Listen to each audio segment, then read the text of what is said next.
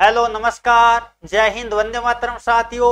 मैं किशन लाल, आप सभी का आपके अपने YouTube channel RJ Kishan education पर हार्दिक स्वागत है अभिनंदन करता हूँ। जैसा कि सुबह के साढ़े आठ बज चुके हैं और आपको पता है रेगुलर सुबह साढ़े आठ बजे मैथमेटिक्स की क्लास होगी।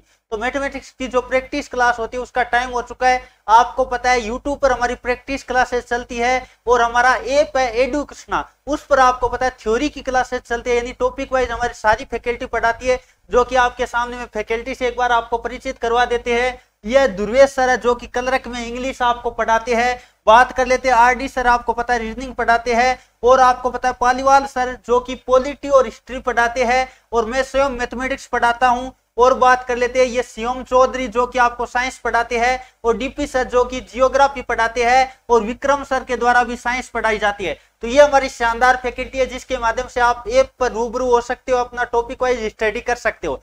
चलिए, बिना देरी के आज के सेशन की शुरुआत करते हैं और आपको बताऊँगा ऐप के अंदर नई क्लासेज हमारी स्टार्ट हो चुकी है। तो जिन्होंने भी ज्वाइन नहीं किया, ज़रूर ज्वाइन कीजिएगा और वहाँ भी फ़ायदा लीजिएगा। लिंक आपको डिस्क्रिप्शन दे रखा है। चलिए, बिना देरी के आज के सेशन की हम शुरुआत करेंगे। पहला क्वेश्चन जैसा कि आपके सामने आ चुका है, जल्दी से सभी विद्यार्थी क्वेश्चन नंबर एक का जवाब देने की कोशिश करिएगा। क्वेश्चन नंबर एक क्या दे रखा है? पाँच हज़ार रुपए की धनराशि का चार वर्ष में साढ़े चार प्रतिशत। यह कितना है? साढ़े चार प्रतिशत। यानी चार सही, एक बटा दो। इसका मतलब कितना हुआ भाई?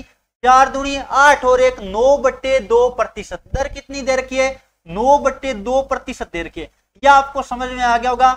मिश्र बिन को हमने साधारण बिन में कन्वर्ट कर दिया है और मूलधन की बात कर लेते हैं। मूलधन आपको कितना देर का है? मूलधन की बात कर लेते हैं। मूलधन आपको देर का है जो कि पाँच हज़ार रुपए है। कितने रुपए अभी? पाँच हज़ार रुपए है। और समय की बात कर लेते समय कितना देर का है? समय आपको चार वर्ष देर का है। कितना वर्ष देर का है? चार वर्ष देर का है। आपको निकालना क्या है? आपको क्या निकालना है? देखिएगा, साधारण ब्याज निकालना है। और साधारण ब्याज आपको पता होगा, साधारण ब्याज की बात करें तो क्या होता है? जल्दी से सभी विद्यार्थी सूत्र लिखिएगा। साधारण ब्याज होता है मूलधन गुणा दर। क्या होता है? मूलधन गुणा दर इंटू समय बट्टा सो। क्या लगाते हैं? समय बट्टा सो लगाते हैं। अब जल्दी से जो वैल्यू दे रखे उसको पुट कर दीजिएगा और एकदम आराम से आप इस क्वेश्चन को हल कर पाओगे। अब आपको पता है मूलधन कितना दिया? पाँच हज़ार रुपए दिया। कितना दे रखा है दोस्तों? पाँच हज़ार रुपए। दर की बात कर लेते हैं, नौ बट्टा दो लिखेंगे कितना? नौ बट्टे दो। और गुणा समय की बात कर लेते हैं, चार वर्ष दे रखा है। और बट्टे में क्या आएगा? बट्टे में क्या आएगा? भाई सो आएगा। बट्टे में क्या आएगा? सो आएगा। ये दो नीचे सो के गुणा में होगा। अब जो कट रहा है, काटने की एक बार कोशिश करिएगा। ये दो शून्य से दो शून्य मैंने काट दिए। अब बात कर लेते हैं और काटने की कोशिश करते ये आपको पता है, दो से कट गया, चार कितनी बार? दो बार। और आपको पता है, पचास गुणा दो कितना हो गया? पचास गुणा दो। पचास गुणा दो गुणा नौ। तो आपको पता है, सौ गुणा नौ, यानी आपका जवाब कितना आएगा? इस क्वेश्चन का आंसर आएगा नौ सौ रुपए। कितना आएगा? साधारण ब्याज की बात कर लेते तो आपका नौ सौ रुपए आंसर आएगा। कितना आएगा भाई? नौ सौ रुपए, यानी ऑप्शन नंबर आपका सी वाला राइट होगा। और यदि यहाँ कहता मिश्र धन बताओ कितने रुपए वापस लौटाने पड़ेंगे कुल मिला के तो नौ सौ रुपए ये हो गए। और आपको है, पाँच हज़ार रुपए पहले थे। आपको यहाँ कहता मिश्र धन बताओ। कह सकता है, कई बार एग्ज़ाम में आ जाता है मिश्र धन बताओ। यानी कितनी राशि लौटानी पड़ेगी? तो हम क्या करते? पाँच हज़ार प्लस क्या करते? पाँच हज़ार प्लस नौ सौ करते। तब हम कहते उनसठ सौ। यानी पाँच हज़ार नौ सौ रुपए आपका जवाब आता। यदि आपको क्या पूछता यदि आपको बात कर लेते हैं मिश्र धन पूछता, तब की कंडीशन ये बनती। तो सभी विद्यार्थी एक बार नोट कीजिएगा। चलिए दोस्तों, आगे बढ़े। अगला क्वेश्चन नंबर बात कर लेते जो कि आपके सामने आ चुका है। क्वेश्चन नंबर दो देर का है। सुमित ने दस दिन में एक काम का एक बटा चार भाग किया। देखो, एक बटा चार भाग को कितने दिन में करा है? देखिएगा ध्यान से। मैंने आपको बता रखा है, एक बटा चार, तीन बटा दो, इस तरह से कोई भी काम का भाग दे रखा हो और हमें निकालना हो कि टोटल काम करने में कितना दिन लगेगा, इस तरह से पहले आपको पता होना चाहिए। तो पहले बात कर लेते हैं सुमित। किसकी बात कर लेते हैं? ये मैंने लिखा सुमित। किसकी बात कर लेते हैं? सुमित। सुमित, आपको पता है, एक बटा चार भाग को कितने दिन में कर रहा है? दस दिन में। एक बटा चार भाग को दस दिन में कर रहा है। इसका मतलब कुल काम, यानी एक काम आपको निकालना हो तो आपको पता है चार दस गुणा चार बट्टा एक, ऐसे गुणा करते हैं। कुल मिला के हमने आपको बता रखा है कि एक बटा चार का उल्टा से गुणा कर दो। यानी हम कहेंगे कितना? एक बटा चार का उल्टा कितना होगा? चार होगा। तो हम कहेंगे दस गुणा चार बटे एक। उल्टा क्या हुआ? एक बटा चार का चार बटे एक। ये चालीस दिन लगता। यदि ये अकेला काम पूरा करता तो चालीस दिन लगता। आगे बात कर लेते हैं। सुमित के आगे कौन दे रखा है? मुकेश बच्चा हुआ काम। ये मुकेश के बारे में चर्चा कर लेते मुकेश बच्चा हुआ काम। बच्चे का काम कितना एक बट्टा चार हो गया तो बच्चा कितना तीन बट्टा चार? बच्चा कितना तीन बट्टा चार? और तीन बट्टा चार को कितने दिन में करे? बीस दिन में करे। कितने दिन में करे? बीस दिन में करे आपको दिखाई दे रहा है। अब आपको पता है इसका मतलब एक भाग कितने में होगा? बीस गुणा कितना होगा? चार बट्टा तीन होगा। बीस गुणा चार बट्टा तीन होगा। ये आपको सीधी सी बात है। तीन बट्टा चार का उल्टा कितना हो गया? चार बट्टे तीन हो गया। तो चार बट्टे तीन से हम गुणा कर देंगे। तो बीस गुणा चार बट्टा तीन। अब जल्दी से कर दो। तो ये कितना आया? अस्सी बट्टा तीन। अस्सी बट्टा तीन दिन। अब आपको पता है, जब भी मिलकर काम करवाना हो तो हम क्या लेते हैं? एलसीएम लेते हैं। तो इन दोनों का एलसीएम लेंगे, और जब बट्टे वाली कोई भी संख्या आ जाए, और हमें एलसीएम लेना हो तो ऊपर वाली संख्याओं का, जैसे इसको 40 बटा एक लिख सकते हैं, बिल्कुल। तो आपको पता है, ऊपर वाली संख्याओं का एलसीएम लेंगे 40 और 80 का एलसीएम कितना आएगा? 80 आएगा। कितना आएगा? 80 आएगा। और बट्टे में नीचे वाली का मैस है लेते। लैस है, निकालना तो ऊपर वाली का लैस है और नीचे वाली का मैस है लेते। तो बट्टे में आपको पता है, एक और तीन का मैस है, कितना आएगा? एक आएगा। आपको पता होगा, कोई भी भिन्न वाली संख्या होती है, एलसीएम निकालना तो ऊपर वाली संख्या का, एलसीएम और नीचे वाली संख्या का एस निकालना पड़ता है। और एस निकालना हो तो ऊपर वाली संख्या का एस और नीचे वाले का एलसीएम निकालना पड़ता है। ये हमने एलसीएम और एस का जो टॉपिक किया टॉपिक वाइज वहाँ हमने पढ़ाया था। अब आप जल्दी से भाग दीजिएगा। अस्सी में आप किसका भाग दोगे? अस्सी में आप चालीस का भाग दोगे, कितनी बार जाएगा? यह आपका जाएगा दो बार। कितनी बार जाएगा दोस्तों? दो बार जाएगा। बिल्कुल दो बार जाएगा।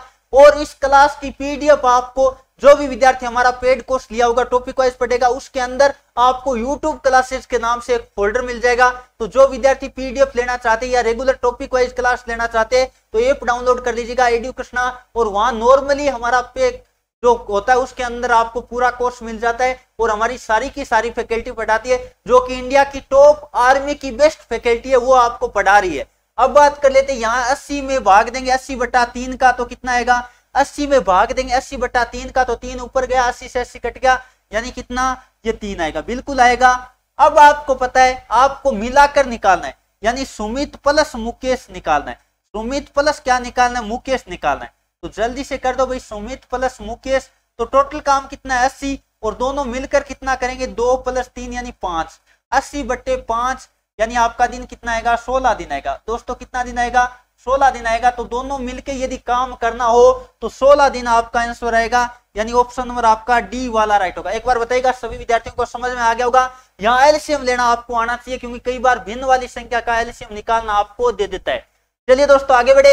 देखो, हम क्लास के अंदर ज़्यादा बातें वगैरह नहीं करेंगे कमेंट वगैरह भी नहीं देखेंगे, क्योंकि कमेंट देखने से क्लास में टाइम खराब हो जाता है। तो मैं नहीं चाहता बच्चों का टाइम खराब हो, जो भी आगामी अग्निवीर बनना चाहते हैं या जो आगामी परीक्षाओं की तैयारी करे। मैथमेटिक्स का अहम रोल रहता है, उनके लिए क्लास बहुत ही शानदार और जानदार साबित होने वाली है। अगला क्वेश्चन नंबर तीन आपको दे रखा है, एक पुस्तक विक्रेता ने एक पुस्तक की बीस प्रतियाँ, बीस पुस्तक, यानी कुल मिला के हम कह सकते हैं, एक पुस्तक की बीस प्रतियाँ का मतलब क्या हुआ? बीस पुस्तक। बीस पुस्तक कितने में खरीदी? जल्दी से बताएगा बीस पुस्तक की जो मूल्य की बात कर लेते तो वो कितना दे रखा है? नवासी रुपए दिया। कितना दिया दोस्तों? नवासी रुपए दिया। अब आपको पता है, बीस पुस्तकों का नवासी रुपए है तो हम एक पुस्तक का निकालेंगे। एक पुस्तक का कितना आएगा?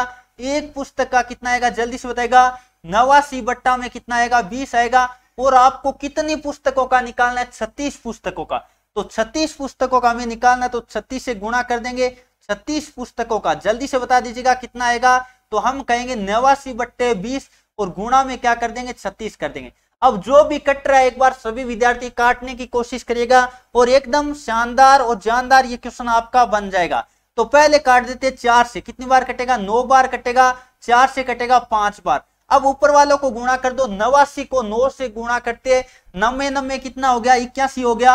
अस्सी लगी आठ। और आपको पता है बेहतर और आठ कितना हो गया? अस्सी हो गया। यानी आठ सौ एक बट्टा कितना? पाँच। जल्दी से भाग दे दो। सोलह पंजो अस्सी। फिर आपको पता है एक उतारा भाग गया, नहीं टूटे बाकी क्या लगाएँगे? टूटे बाकी शून्य लगाएँगे, बिल्कुल। फिर आपको पता है दस बनेगा दो बार। यानी एक सौ साठ पॉइंट दो। एक सौ साठ पॉइंट दो या कह सकते एक सौ साठ पॉइंट दो ज़ीरो रुपए। बिल्कुल ऑप्शन नंबर आप देखिएगा कौन सा होगा? ऑप्शन नंबर आपका ए वाला राइट होगा। एकदम आराम से इस क्वेश्चन को आप हल कर सकते थे और ये इंडियन आर्मी एग्ज़ाम में कई बार पूछा गया है। चलिए दोस्तों, अगला क्वेश्चन नंबर बात कर लेते हैं, जो कि चार नंबर आपके सामने आ चुका है। दो संख्याओं का एलसीएम आपको दे रखा है। ये क्या दे रखा है? एलसीएम आपको दे रखा है। एलसीएम कितना दिया? ग्यारह है और आगे दे रखा है महत्तम समापवर्तक यानी किसकी बात कर लेते हैं? एस की बात करें तो वो कितना दे रखा है? अठारह दे रखा है। एस की बात करें तो कितना देर का है? अठारह देर का है। उनमें से एक संख्या बात कर लेते, कितनी देर की है? एक सौ बासठ है। एक संख्या एक सौ बासठ है तो दूसरी संख्या आपको ज्ञात करनी है। एकदम आसानी से आप निकाल पाओगे। आपको मैंने बता रखा है, संख्याओं का गुणनफल होता है, वो किन के बराबर होता है? एलसीएम गुणा एस के बराबर होता है। तो हम कहते हैं, एक संख्या ए, दूसरी बी माने तो ए गुणा बी क्या होगा? हम कहते हैं, एलसीएम गुणा एस होगा। क्या होगा?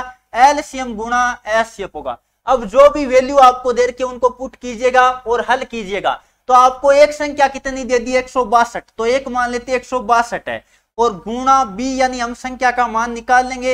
एलसीएम का मान कितना दिया भाई? एलसीएम का मान ग्यारह दिया है। और एस का मान कितना दिया महत्तम समापवर्तक का मान कितना दिया है? महत्तम समापवर्तक का मान हटारा दिया है। अब जल्दी से काट दीजिएगा। ये अठारह से कितनी बार कटेगा आपको पता है? अठारह नंबर कितना होता है? एक सौ बासठ होता है, यानी नौ बार कटेगा। अब आपको पता है बी बराबर कितना आएगा? ग्यारह सौ चौतीस बट्टे में नौ। ग्यारह सौ चौतीस बट्टे में नौ। अब जल्दी से एक बार सभी विद्यार्थी भाग दीजिएगा। नौ एक कम नौ। फिर बात कर लेते कितना बचा? दो बचा अठारह, यानी दो बार गया, फिर बात कर लेते पाँच बच्चा छह बार। यानी आपका जवाब कितना आएगा? 126 आएगा। भाई दोस्तों, कितना आएगा? 126 आएगा, जो विद्यार्थी ऑप्शन नंबर बी की तरफ़ जा रहे उन विद्यार्थियों का जवाब बिल्कुल सही है। चलिए दोस्तों क्लास के अंत में यह भी आपको कमेंट करके बताना है कि इन 20 प्रश्नों में आपके कितने क्वेश्चन राइट हो पाएँगे। मैथमेटिक्स की जो क्लास होने वाली है, पंद्रह क्वेश्चन और पाँच रीजनिंग के आपकी क्लास में होने वाले तो क्वेश्चन नंबर पाँच आपके सामने आ चुका है। चौबीस मीटर लंबे और सोलह मीटर चौड़े। चौबीस मीटर चौड़े और सोलह मीटर हम बात कर लेते हैं चौड़े। ये लंबे और चौड़ाई दे रखी है, क्या दे रखी है? लंबाई और चौड़ाई दे रखी है। अब जल्दी से एक बार सभी विद्यार्थी करने की कोशिश करेगा। बहुत ही शानदार आपको क्वेश्चन दे रखा है। पहले बात कर लेते आयताकोर कोई बगीचा है या बात कर लेते क्या दे रखा है? पार्क है, उसकी बात करें। तो आपको पता है, यदि मैं बात करूँ, यहाँ पार्क की बात कर लेते जैसे मैं पार्क बना देता हूँ ये आपको दिखाई दे रहा होगा, एक बार सभी देखिएगा। दिखाई दे रहा सबको कोई दिख नहीं। अब आपको पता है, यदि मैं बात करूँ तो पार्क की आपको क्या दे दी? लंबाई और चौड़ाई दे रखी है। लंबाई की बात कर लेते कितनी देर की है? चौबीस मीटर देर के, कितनी देर के? ये हमने लिखा चौबीस मीटर। कितनी देर के? चौबीस मीटर देर के। और चौड़ाई की बात कर लेते हैं, सोलह मीटर देर के। बिल्कुल सोलह मीटर देर के। ये आकृति आपको दिखाई दे रही होगी। थोड़ा सा मैं गहरा कर देता हूँ ताकि आपको सही से नज़र आए। अब आपको पता इस तरह से मैंने आकृति आपकी बना दी। अब बात कर लेते यदि मैं बात करूँ तो ये इसकी लंबाई और चौड़ाई देर के और इसके चारों ओर। देखो, आपको पता है क्या, या तो अंदर लिखेगा या बाहर लिखेगा। और जब नहीं लिखे अंदर या बाहर, इसका मतलब चारों ओर बाहर ही होगा। तो रास्ता काटने की बात कर रहा है किसकी बात कर रहा है रास्ता काटने की बात कर रहा है और रास्ते की चौड़ाई कितनी है? दो मीटर है। तो ये चारों ओर बाहर की तरफ़ रास्ता होगा। क्योंकि अगले ने लिखा नहीं है, देखो, पार्क के चारों ओर, इसका मतलब बाहर की तरफ़ होगा। इसका मतलब ही क्या होगा? बाहर की तरफ़ होगा। और अंदर लिखता तो हम अंदर की तरफ़ रास्ता काटते। कई बार बाहर और अंदर नाम लिख देते हैं और कई बार नाम नहीं लिखता है। तो नाम नहीं लिखे, इसका मतलब चारों ओर बाहर ही तो होगा। तो ये आपको पता है, ये हम रास्ता काट देते हैं। मान लेते ये रास्ता है। ये चारों ओर बाहर की तरफ़ हमने रास्ता काट दिया। अब आपको पता है ये चारों ओर बाहर की तरफ़ है, बड़ा आयत बन गया और बड़े में से छोटे वाला घटाएँगे तो रास्ते का क्षेत्रफल आ जाएगा। अब बड़े आयत आपको पता है लंबाई और चौड़ाई क्या होगी? क्योंकि दो दो मीटर का क्या है? रास्ता है। इधर कितना? दो मीटर का है। इधर कितना? दो मीटर का है और ये भी दो मीटर का है। कुल मिला के हम ये कह सकते हैं, चार मीटर बढ़ेगा। चार मीटर लंबाई बढ़ेगा और चार मीटर क्या? चौड़ाई बढ़ेगा। तो ये कितना हो जाएगा? ये चार बटा दो, कितना हो जाएगा? ये अट्ठाईस मीटर हो जाएगा। ये लंबाई अट्ठाईस मीटर हो जाएगी और चौड़ाई की बात कर लेते, चार बटेगा तो कितना हो जाएगा? बीस मीटर हो जाएगा। सबको दिखाई दे रहा है। अब आपको पता है, बड़े वाले में से छोटे वाला घटा दो तो हम करेंगे अट्ठाईस गुणा में क्या? अट्ठाईस गुणा में बीस करेंगे तो आपको पता है कितना आएगा? अट्ठाईस दोनों छप्पन, यानी पाँच सौ साठ। और मीटर है तो मीटर स्क्वायर ये क्षेत्रफल हो गया ये बड़े वाले आयत का क्षेत्रफल हो गया, अब छोटे वाले क्षेत्र निकालेंगे तो वो कितना देर का है? चौबीस गुणा सोलह। क्या करेंगे? चौबीस गुणा सोलह करेंगे। अब सोलह से गुणा कर दो, सोलह चौको कितना हो गया? चौसठ हो गया। फिर बात कर लेते हसी लगी छह और बत्तीस और छह कितना हो गया? अड़तीस। कितना? अड़तीस। तो ये जल्दी से कर दो मीटर स्क्वायर और आपको इनका अंतर लेना वही क्या होगा? रास्ते का क्षेत्रफल होगा। तो रास्ते का क्षेत्रफल आपको निकालना था, यही तो कहा रास्ते का क्षेत्रफल बताओ। तो जल्दी से घटा दीजिएगा, कितना बचा? छह बचा। फिर बात कर लेते सात बचा, फिर बात कर लेते आपको पता है एक सौ छिहत्तर। एक सौ छिहत्तर मीटर स्क्वायर आपका क्या आएगा? ये रास्ते का क्या आएगा? क्षेत्रफल आएगा। रास्ते का क्षेत्रफल आएगा तो ऑप्शन नंबर आपका कौन सा राइट होगा? सी वाला राइट होगा। एक बार सभी विद्यार्थी मैच करेगा। किन किन विद्यार्थियों का ऑप्शन सही आ रहा है? बहुत बढ़िया। तो आप आराम से कर सकते थे। बहुत ही आसान क्वेश्चन था। और यदि हम लेते इसके अंदर की तरफ़ रास्ता तो आपको पता है चार कम हो जाता, लंबाई चार कम हो जाती और चौड़ाई भी क्या हो जाती? चार कम हो जाती। चलिए दोस्तों चलिए दोस्तों, अगला क्वेश्चन नंबर छह आपके सामने आ चुका है। एक व्यक्ति एक खिलौना हज़ार रुपए में खरीद कर पंद्रह सौ रुपए में बेचे तो लाभ या हानि प्रतिशत बताओ। तो आपको पता है, यदि मैं बात करूँ यहाँ क्रय मूल्य की, पहले बात कर लेते हैं क्रय मूल्य की। तो क्रय मूल्य आपको कितना दे रखा है? हज़ार रुपए दे रखा है। कितना दे रखा है दोस्तों? हज़ार रुपए दे रखा है। अब बात कर लेते विक्रय मूल्य। किसकी बात कर लेते हैं? विक्रय मूल्य। और विक्रय मूल्य आपको दे दिया पंद्रह सौ रुपए। विक्रय मूल्य कितना दिया? पंद्रह सौ रुपए दिया इसका मतलब यहाँ क्या हो रहा है लाभ हो रहा है क्योंकि आपको पता है कम की वस्तु को ज़्यादा में बेचा जा रहा है इसका मतलब क्या हो रहा है लाभ हो रहा है और लाभ कितने रुपए का हो रहा है लाभ की बात कर लेते हैं पाँच सौ रुपए का हो रहा है लाभ कितने रुपए का हो रहा है लाभ की बात करें तो आपको पता है लाभ कितने का हो रहा है पंद्रह सौ माइनस कितना हज़ार यानी पाँच सौ रुपए का क्या हो रहा है लाभ हो रहा है पाँच सौ रुपए का क्या हो रहा है लाभ हो रहा है अब आपको पता है लाभ को प्रतिशत में बताना है और लाभ या हानि कभी भी प्रतिशत में निकालना हो तो आप ध्यान रखिएगा, क्रय मूल्य के अनुसार निकाला जाता है। तो लाभ प्रतिशत क्या होगा? लाभ प्रतिशत की बात कर लेते हैं तो हम लिखते हैं लाभ बट्टा लाभ बट्टा क्रय मूल्य। लाभ बट्टा क्या लिखते हैं? क्रय मूल्य। और गुणा में क्या लिखते हैं? सो लिखते हैं। गुणा में क्या लिखते हैं? सो लिखते हैं। तो जल्दी से कर दीजिएगा, लाभ कितने रुपए का हुआ? पाँच सौ रुपए का हुआ। लाभ की बात कर लेते पाँच सौ का और क्रय मूल्य कितना रुपए था देखिएगा क्रय मूल्य कितना रुपए था? हज़ार रुपए था। तो बट्टे में लगेगा हज़ार और गुणा में क्या लगेगा? सौ लगेगा।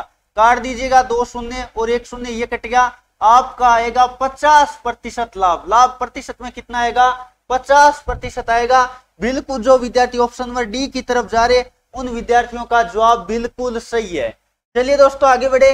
अगला क्वेश्चन नंबर बात कर लेते हैं। सात नंबर आपके सामने आ चुका है। क्या दिया है? एक्स की घात तीन। एक्स की घात तीन, थोड़ा सा मैं सही लिख देता हूँ, गुणा। एक्स की घात तीन गुणा एक्स की घात तीन बट्टे छ। इस तरह से लिखिएगा थोड़ा सा क्वेश्चन आप इस तरह से लिख सकते हो आराम से। एक्स की घात छ। बट्टे में क्या एक्स की घात छ? अब आपको पता है, गुणा और भाग दिखाई दे रहे तो गुणा वाली गाते जुड़ती है और भाग वाली गाते घटती है। गुणा वाली गाते जुड़ती है और भाग वाली घटती है।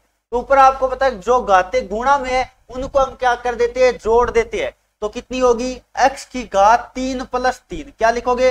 तीन प्लस तीन बट्टा एक्स की घात छ और आपको पता है, x की घात छ बट्टा एक्स की घात छ और जब किसी भी संख्या में उसी संख्या का भाग दिया जाता है तो आपको पता है कितना आता है? एक आता है।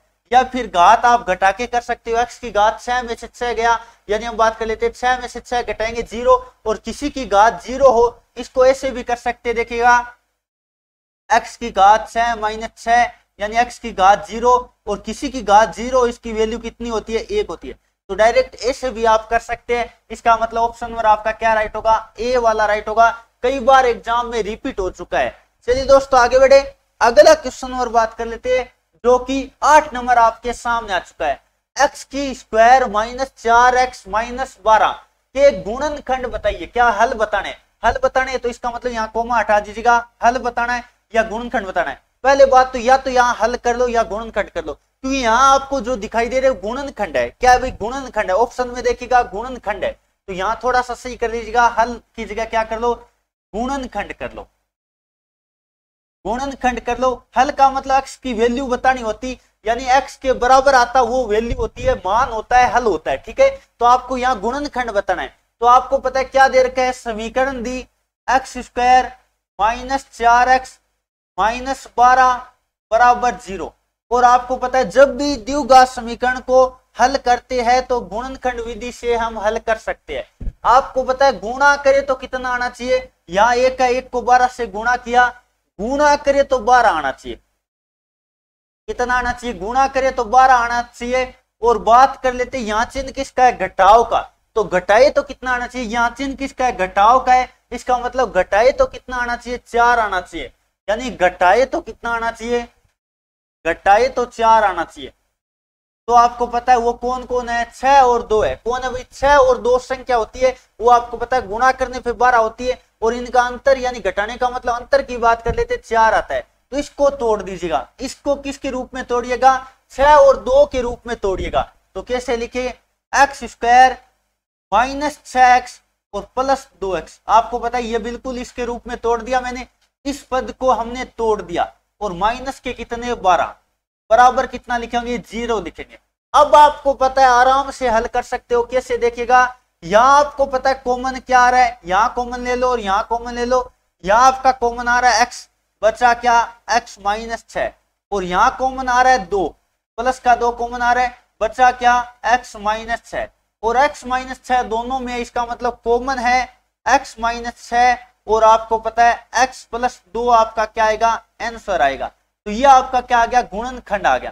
क्या आपका गुणन खंड आ गया, देखिएगा, x माइनस छह और x प्लस दो। एक्स माइनस छह और x प्लस दो। बिल्कुल ऑप्शन नंबर आपका क्या राइट होगा? बी वाला राइट होगा। एक बार सभी विद्यार्थी नोट कीजिएगा। गुणनखंड विधि से आराम से इसके आप गुणनखंड कर सकते थे और गुणनखंड ये आपको पूछा गया था। चलिए दोस्तों, आगे बढ़े। अगला क्वेश्चन आपके सामने लेते जल्दी से सभी विद्यार्थी क्वेश्चन नंबर नौ का जवाब देने की कोशिश करिएगा। बहुत ही शानदार क्वेश्चन दे रखे प्रथम सात। सात की जगह लिख लो सात। प्रथम सात प्राकृत संख्याओं का वर्गों का औसत बताओ। प्रथम सात प्राकृत संख्याओं के वर्गों का औसत बताओ। पहले बात कर लेते हैं, वर्गों के योग का सूत्र क्या होता है? सबको पता होना चाहिए, वर्गों का योग। प्राकृत संख्याओं के वर्गों का योग का सूत्र क्या होता है? आपको पता होगा एन एन प्लस वन और टू एन प्लस वन बट्टा छह ये योग का होता है तो बताओ जल्दी से औसत का सूत्र क्या आएगा? वर्गों का औसत। वर्गों के औसत की बात कर लेते हैं इसका सूत्र क्या आएगा? जल्दी से देखिएगा। आपको पता है, जितनी संख्या होती है, उतनी भाग दे देते। तो एन का भाग देंगे तो एन कट जाएगा। बचेगा क्या? एन प्लस वन और आगे बात कर लेते टू एन प्लस वन बट्टा में छह। यही बचेगा बिल्कुल, क्योंकि एन का भाग देंगे, औसत का मतलब राशियों का योग बटे राशियों की संख्या। ये योग है और संख्या एन है तो एन का भाग देंगे एन कट गया। अब आपको पता है सात संख्या एन का मान कितना दे रखा है? एन का मान आपको दे रखा है सात। एन का मान कितना दिया? सात दिया। लिख लीजिएगा जल्दी से। सात प्लस एक, फिर बात कर लेते दो गुणा सात प्लस एक। और बट्टे में क्या लिखेंगे? छह लिखेंगे? यह आपका आएगा आठ गुणा में कितना? चौदह और एक पंद्रह। पंद्रह बट्टे छह। बिल्कुल पंद्रह बट्टे छह। काट दीजिएगा, जो कट रहा है, बहुत ही आसान बन जाएगा आपका। तो ये काट देते हैं तीन से। कितनी बार कटेगा? तीन से, पाँच बार, दो बार। दो से चार बार। ये कितना आ गया? बीस आ गया। जवाब आपका कितना आया? बीस आया। बिल्कुल जो विद्यार्थी ऑप्शन नंबर किसकी तरफ़ जा रहे हैं? ऑप्शन नंबर सी की तरफ़ जा रहे हैं। उनका जवाब बिल्कुल सही है। और एक तरीका यह भी है पहले आप योग ज्ञात कर लेते और फिर सात का भाग दे देते, वैसे भी निकाल सकते हो, जो आपका अच्छा लगे, उससे कर लेना, कोई दिक्कत वाली बात नहीं है। चलिए दोस्तों, आगे बढ़े।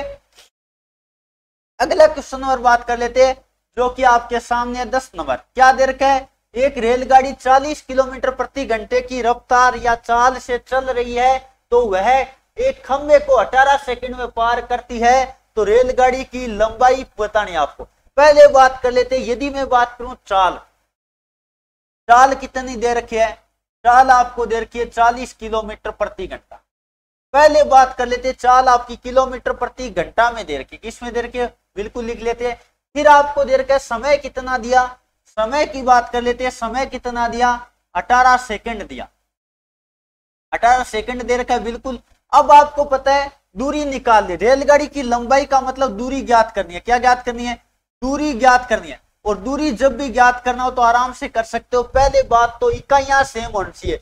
जब भी समय, दूरी, चाल या गणित का कोई भी क्वेश्चन करे तो सभी की इकाई यानी मात्रक समान होने चाहिए। मात्रक आप देखिएगा, यहाँ किलोमीटर प्रति घंटा है, यहाँ सेकेंड के रूप में। तो इसको हम चेंज कर लेते हैं। चाल वाले को चेंज करते हैं। तो आपको पता है, चालीस गुणा क्या लिखोगे? पाँच बट्टे अठारह लिखोगे। बिल्कुल लिखना पड़ेगा और ये किसमें आएगा? ये आपका आ जाएगा मीटर प्रति सेकंड में। किसमें आ जाएगा? मीटर प्रति सेकंड में आ जाएगा। अब देखो, ये सेकंड ईयर यहाँ भी सेकंड है तो इकाइयाँ सेम हो गई अब आपको दूरी निकालनी है। और दूरी क्या होती है? चाल गुणा समय होती है। क्या होती है? चाल गुणा में क्या होती है? समय होती है। तो जल्दी से निकाल दीजिएगा। बहुत ही आसान क्वेश्चन हो जाएगा। तो ये कितना आएगा? चाल कितनी? चालीस गुणा पाँच बट्टा अट्ठारह और गुणा में बात कर लेते फिर क्या आपको पता है? आगे बात कर लेते समय कितना दे रखा है? अठारह। तो अठारह से अठारह आपका कट जाएगा और बचेगा कौन? ये 200 मीटर आपका जवाब आएगा। कितना मीटर आएगा भाई? 200 मीटर आपका जवाब आएगा। तो एक बार देखिएगा, जल्दी से सभी विद्यार्थी 200 मीटर, यानी ऑप्शन नंबर आपका क्या राइट होगा? डी वाला राइट होगा। एकदम आराम से क्वेश्चन को कर सकते थे। चलिए दोस्तों, आगे बढ़े। अगला क्वेश्चन आपके सामने लेते जल्दी से सभी विद्यार्थी क्वेश्चन नंबर ग्यारह का जवाब देने की कोशिश करेगा। पच्चीस प्रतिशत क्या दे रखा है? पच्चीस प्रतिशत को भिन्न में बताना है। और प्रतिशत जब हटाते हैं तो बट्टे में क्या लगाते हैं? सौ लगाते हैं। इसका मतलब पच्चीस किसमें से है? सौ में से है। पच्चीस किसमें से है? सौ में से है। और पच्चीस आपको पता है, ये एक बार कटा और पच्चीस से ये चार बार कटा, यानी आपका जवाब कितना आएगा? एक बट्टा चार आएगा। क्या आएगा भाई? एक बट्टे चार आएगा। तो ऑप्शन में जो एक की तरफ़ जा रहे हैं, उनका जवाब बिल्कुल सही है। चलिए दोस्तों, अगला क्वेश्चन नंबर बारह आपके सामने आ चुका है टेन पैंसठ डिग्री। टेन पैंसठ डिग्री और कोट पच्चीस डिग्री। आपको पता होगा टेन और कोट आपस में पूरक कौन होते हैं। सबको पता होना चाहिए। बात कर लेते हैं। टेन व कोट आपस में पूरक कोण के रूप में होते हैं। आपस में पूरक कोण होने पर इनके मान बराबर होते हैं। इनके मान बराबर होते हैं। ये आपको ध्यान रखना है। आपस में पूरे कोण होने पे इनके मान क्या होते हैं? बराबर होते हैं। यानी मैं कुल मिला के ये कह सकता हूँ, theta one plus theta two बराबर नब्बे डिग्री हो। पूरे कोण का मतलब यही होता है। कई बार एग्ज़ाम में आता है कि पूरे कोण का मतलब क्या होता है? यानी ऐसे दो कोण जिनका योग नब्बे डिग्री हो, वो पूरे कोण कहलाते हैं? और यदि टेन और कोट पूरक कोण हो, यानी जैसे कोई भी मान ले लो, मैंने कहा टेन टेन दस डिग्री तो टेन दस डिग्री कोट कितने के बराबर होगा? अस्सी डिग्री के बराबर होगा, बिल्कुल बराबर होगा। मैंने कहा टेन पाँच डिग्री, टेन पाँच डिग्री वो किसके? कोट पिचासी डिग्री के बराबर होगा। और मान लो यहाँ दे रखा है टेन पैंसठ डिग्री टेन पैंसठ डिग्री आपको पता है, यदि मैं बात करूँ तो किसके बराबर होगा? कोट पच्चीस डिग्री के बराबर होगा। कोट 25 डिग्री के बराबर होगा क्योंकि दोनों का योग बराबर हो रहा है और जब ये बराबर की वैल्यू बराबर में से घटाएँगे तो इसका मान कितना आ जाएगा? इसका मान कितना आ जाएगा? ज़ीरो आ जाएगा। कितना आ जाएगा? ज़ीरो आ जाएगा। क्यों आ जाएगा? क्योंकि जब बराबर की वैल्यू में से बराबर उसी मान की वैल्यू घटाई जाती है, कितना आएगा? ज़ीरो आएगा। बिल्कुल जो विद्यार्थी ऑप्शन नंबर बी की तरफ़ जा रहे हैं, उनका जवाब बिल्कुल सही है। चलिए, अगला क्वेश्चन नंबर तेरह आपके सामने आ चुका है। एक साइकिल के पहिए की त्रिज्या आपको दे रखी है यानी त्रिज्या आपको दे रखी है आर आपको दे रखी है मैंने लिखा त्रिज्या। त्रिज्या का मतलब आर। रेडियस आपको दे रखी है कितनी देर की है? बयालीस सेमी है। बिल्कुल बयालीस सेमी है, ध्यान दीजिएगा। तो वह 400 चक्कर में कितने मीटर चलेगा? दूरी आपको मीटर में चाहिए। तो पहले बात कर लेते हैं। पहिए द्वारा तय की गई दूरी हमेशा ध्यान रखिएगा, क्या होती है? चक्कर गुणा टू पाई आर, यानी हम कहते हैं चक्करों की संख्या। इसकी बात कर लेते हैं। चक्करों की संख्या। चक्करों की संख्या। गुणा में क्या लिखते हैं? टू पाई आर लिखते हैं। टू पाई आर परिधि। परिधि का मतलब एक चक्कर में तय की गई दूरी। तो जल्दी से कर दो, चक्करों की संख्या कितनी है?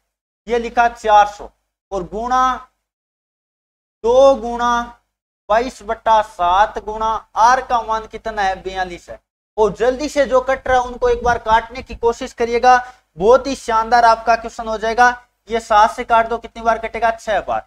अब बात कर लेते यदि मैं बात करूँ तो इनको आप गुणा कर दीजिएगा। चार दूनी कितना हो गया? आठ। और आठ को बात कर लेते इसको गुणा कर दो, अड़तालीस। किसके हो? अड़तालीस। अड़तालीस गुणा में कितना? बाईस। और बट्टे में कुछ है नहीं। और दो शून्य और था, ठीक है ना? दो शून्य, यहाँ लगा दीजिएगा। गुणा सो लिख दो, कोई दिक्कत वाली बात नहीं है। दो शून्य है ना? सो। इसलिए मैंने सौ लिख दिया, ठीक है? और आपको पता है, यहाँ सौ का भाग दे देंगे, क्योंकि ये किसमें आएगा? ये तो सेंटीमीटर में आएगा, ये सेंटीमीटर में है। चलो, आगे बात कर लेते फिर दे देंगे अंतिम में भाग। तो 22 गुणा अड़तालीस कर लो। यदि मैं बात करूँ 48 गुणा 22 करके देखते कितना आता है देखेगा सोलह, अस्सी लगी एक, नौ, फिर बात कर लेते कितना।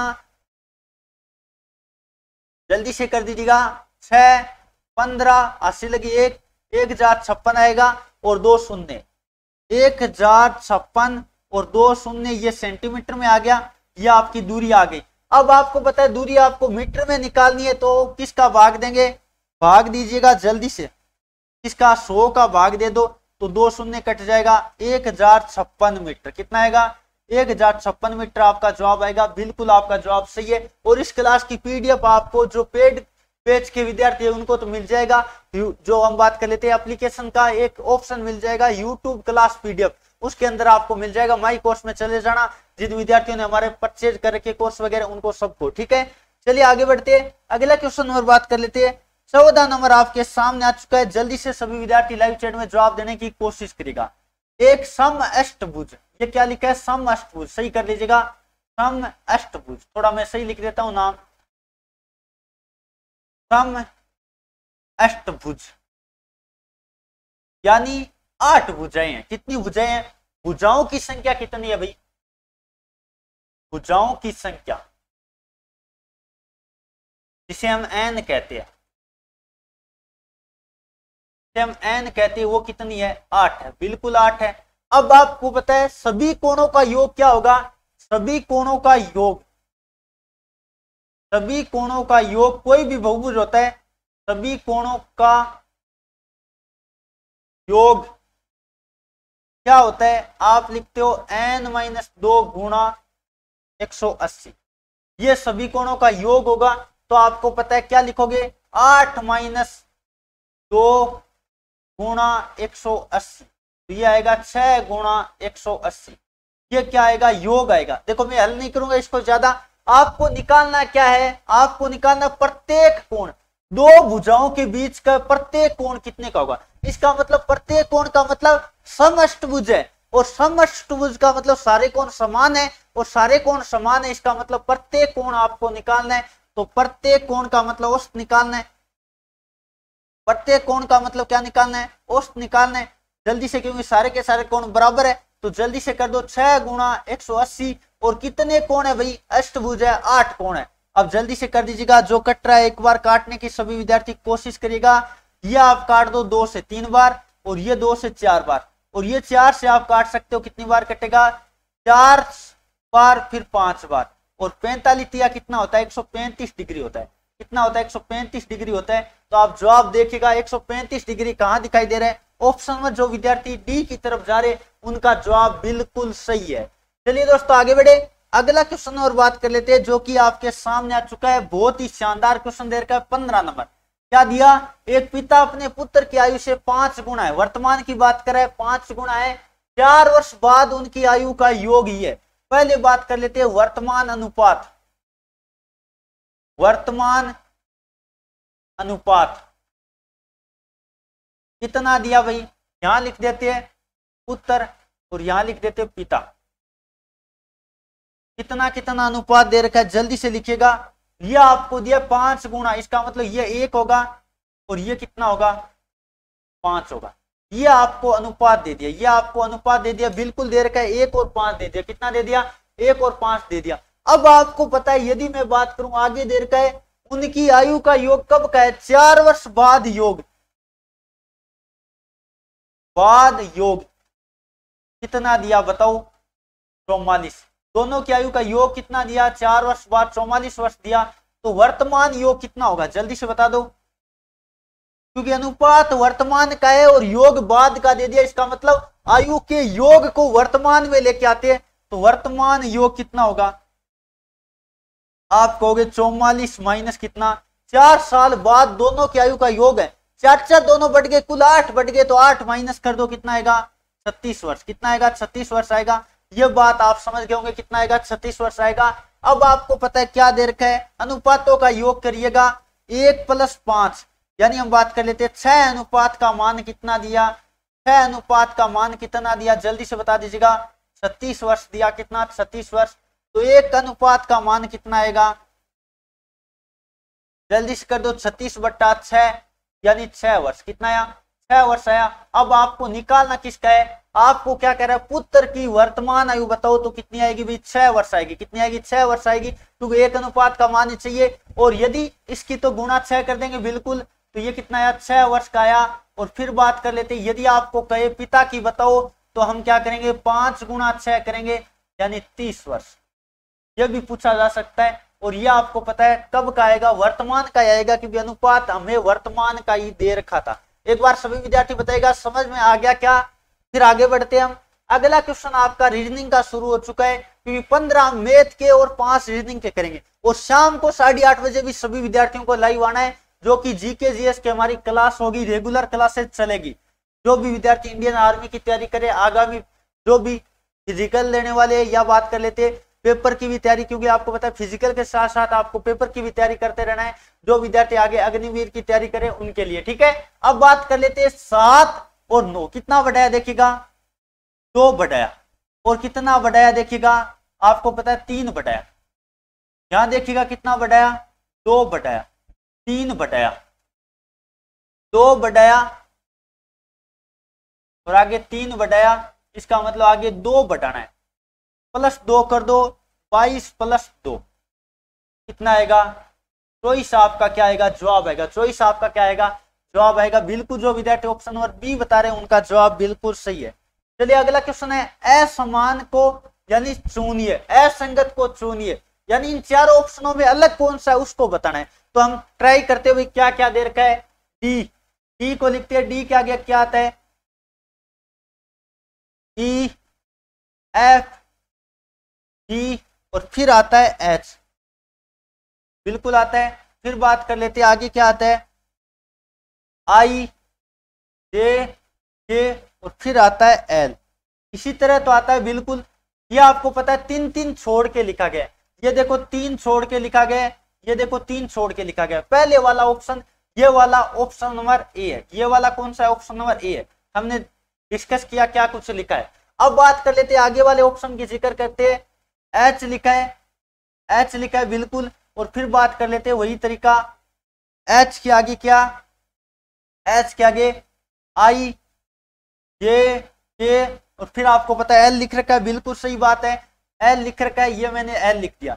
एल के आगे आपको क्या लिखना पड़ेगा? एल के आगे आपको पता है, के, एल, फिर बात कर लेते हैं, एम, एन, ओ, और फिर बात कर लेते हैं, पी। बिल्कुल ऊपर वाले की तरह ही है, ऊपर वाले की तरह ही है ये ऑप्शन नंबर बी आपको दे रखा है। बिल्कुल ऊपर वाले की तरह ही देखो, तीन तीन छोड़ के लिखा है। बिल्कुल सही बात है, कोई दिक्कत वाली बात नहीं। आगे बात कर लेते हैं। अगले वाले की ज़िक्र करे तो एल देखिएगा। एल के आगे क्या आपको पता है? के एल के एल एम एन ओ फिर पी लिख रखा है। बिल्कुल यहाँ तक तो सही है पी लिख रखा है। और आगे बात कर लेते हैं। आगे क्या लिख रखा है? आगे बात कर लेते पी क्यू आर एस आगे क्या आता टी आता। आगे क्या आता? टी आता। लेकिन यहाँ टी नहीं लिख रखा है, यहाँ टी नहीं लिख रखा है। देखिएगा, इसका मतलब ये, यहाँ तो गैप सही है, यहाँ तो सही है, लेकिन यहाँ वाला सही नहीं लिया गया। इसका मतलब आपका ऑप्शन में क्या राइट होगा? सी वाला राइट होगा। ये भी आप चेक करके देख लेना, बिल्कुल जो नियम लग रहा है ऊपर वालों में, वो लगेगा। आपको पता है P Q R S T बात कर लेते, बिल्कुल आ रहा है। टी के आगे यू वी डब्ल्यू एक्स बिल्कुल तीन छोड़ के लिखा जा रहा है। इस तरह से आप याद कर सकते थे ऑप्शन नंबर आपका सी वाला राइट होगा। चलिए अगला क्वेश्चन नंबर अठारह आपके सामने छाता होता है, वो धूप से सुरक्षा करता है। छाता हमारी किससे सुरक्षा करता है? धूप या बारिश से सुरक्षा करता है। देखो, धूप की जगह कई बार बारिश भी आ सकता है, धूप से भी सुरक्षा करता है और बारिश से भी सुरक्षा करता है। ओजोन पर जिसका सूत्र क्या होता है? ओ थ्री होता है। वो हमारे पृथ्वी पर आने वाली, जो सूर्य से आने वाली जो खतरनाक किरणें होती है कौन सी किरणों की बात कर? पराबैंगनी किरणें। किसकी बात कर? पराबैंगनी किरणों से रक्षा करता है। बिल्कुल ऑप्शन नंबर आपका डी राइट होगा। एल्फा कण आपको पता है हीलियम का नाभिक होता है।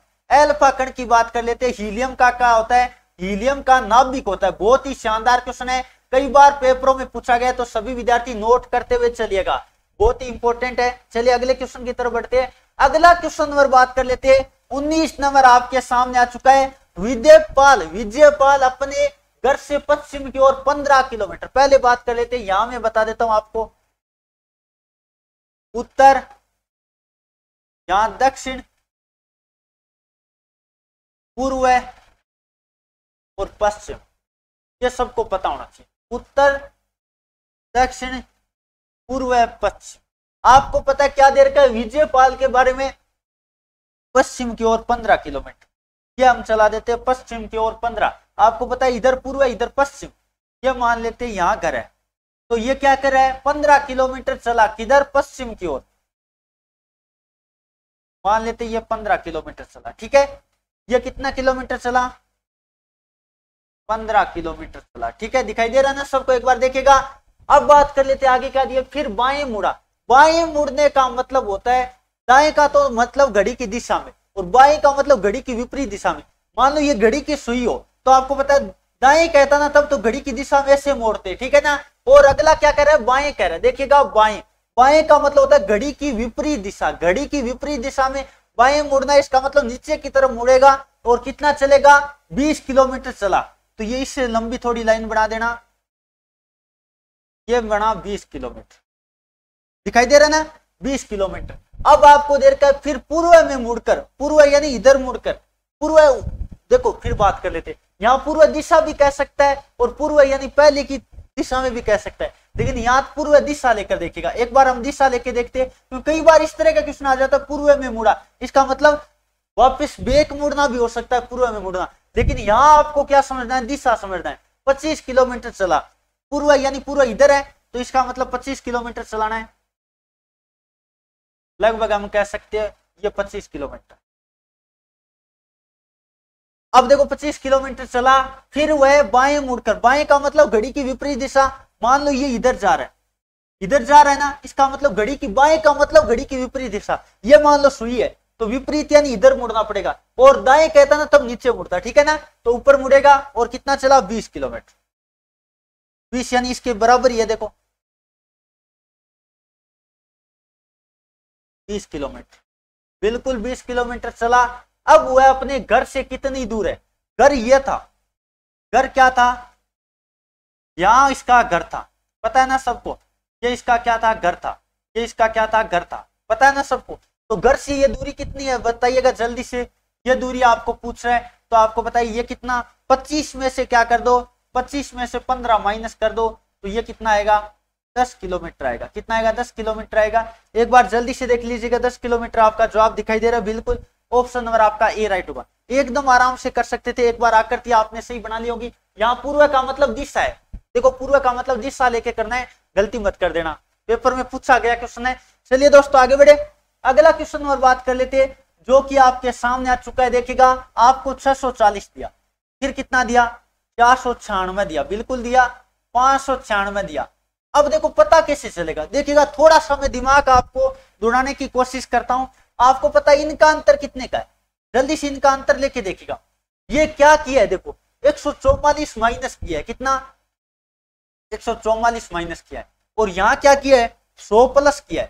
सौ प्लस किया, बिल्कुल सौ प्लस किया देखेगा और ये किसका वर्ग होता है? बारह का वर्ग होता है। और ये किसका? दस का वर्ग होता है। सबको पता है ना? अब देखो इसका मतलब आठ का वर्ग माइनस करना है। क्या करना है? आठ का वर्ग माइनस करना है। आठ का वर्ग कितना होता है? चौसठ होता है। तो माइनस कितना करना है? चौसठ करना है। समझ में आ गई क्या बात? जल्दी से बताएगा समझ में आ गई क्या? तो आराम से कर सकते ये जल्दी से चौसठ माइनस कर दो और पाँच सौ छियानवे माइनस क्या करोगे? चौसठ करोगे। तो ये कितना आएगा? दो और फिर बात कर लेते तीन और फिर बात कर लेते कितना? पाँच सौ बत्तीस आपका जवाब आएगा। यहाँ कितना आएगा? यहाँ आपका आएगा पाँच सौ बत्तीस। अब आगे भी ट्राई कर लो भाई, सही है क्या? अब आपको पता है आगे किसका छह का वर्ग क्या करना पड़ेगा? छह का वर्ग क्या करना पड़ेगा? एक बार लिख लेते हैं। छह का वर्ग कितना होता है? छत्तीस। और छत्तीस ऐड करना पड़ेगा, और आपको पता है पाँच में छत्तीस ऐड करो। पाँच में छत्तीस ऐड करो। आगे वाला सही आ रहा है, तब तो बिल्कुल सही है। बिल्कुल आ रहा है पाँच आ रहा है ना? पाँच ही तो है आगे। पाँच ही तो है। बिल्कुल आपका सही आ रहा है। इसका मतलब आपका जवाब ये वाला हो गया। ये वाला यानी हम बात कर लेते हैं, आपका जवाब कितना हुआ? पाँच सौ बत्तीस हुआ। बिल्कुल ऑप्शन नंबर आपका क्या राइट होगा? सी राइट होगा। ये थी दोस्तों, आज की क्लास कैसी लगी? जल्दी से सभी विद्यार्थी एक बार कमेंट करके बताएगा बहुत ही शानदार तरीके से मैंने आपको पढ़ाने की कोशिश की है और ये हमारे व्हाट्सअप नंबर आपको दिखाई दे रहे हैं। इस पे आप मैसेज करोगे तो हमारे ऐप का लिंक मिल जाएगा और ऐप आपको लिंक डिस्क्रिप्शन दे रखा है, वहाँ से भी डाउनलोड कर सकते हैं। और शाम को साढ़े आठ बजे फिर जुड़ना ना भूलेगा सुबह साढ़े आठ बजे याद रखिएगा टाइम नोट कर लीजिएगा अपने दिमाग में। सुबह साढ़े आठ बजे हर हालत में मौजूद रहना है और शाम को साढ़े आठ बजे हर हालत में मौजूद रहना है। क्योंकि अब जो भी विद्यार्थी फ़िज़िकल की तैयारी करे, यानी जो भी विद्यार्थी अग्निवीर बनना चाहते हैं, उनके लिए हमारा ये स्पेशल बैच रहेगा। यानी हम बात कर लेते तीस पैंतीस दिनों के अंदर हम पूरी प्रैक्टिस एक बार कर लेंगे, जो कि पीछे पेपरों में पूछे गए क्वेश्चन है, या जो भी उससे रिलेटिव क्वेश्चन बनते हैं, सारे आपको करवाए जाएँगे। और हमारे ऐप के अंदर आपकी थ्योरी की क्लासे भी लग रही है जो भी विद्यार्थी ऐप के अंदर एकदम व्यवस्थित अलग अलग हमारे टीचर के माध्यम से पढ़ना चाहता है तो वो भी आप पढ़ सकता है। हमारी फैकल्टी मेंबर आपको दिखाई दे रहे होंगे। चलिए दोस्तों, आज का सेशन कैसा लगा? उम्मीद करता हूँ पसंद आया होगा। इस सेशन को अपने दोस्तों में शेयर कीजिएगा। चैनल को सब्सक्राइब करके बेल आइकन ऑन कर लो, ताकि जब भी हम लाइव क्लास ले आपके पास नोटिफिकेशन आ जाए। चलिए दोस्तों, आज के सेशन को मैं यही समाप्त करता हूँ। थैंक यू फॉर वॉचिंग जय हिंद, जय भारत।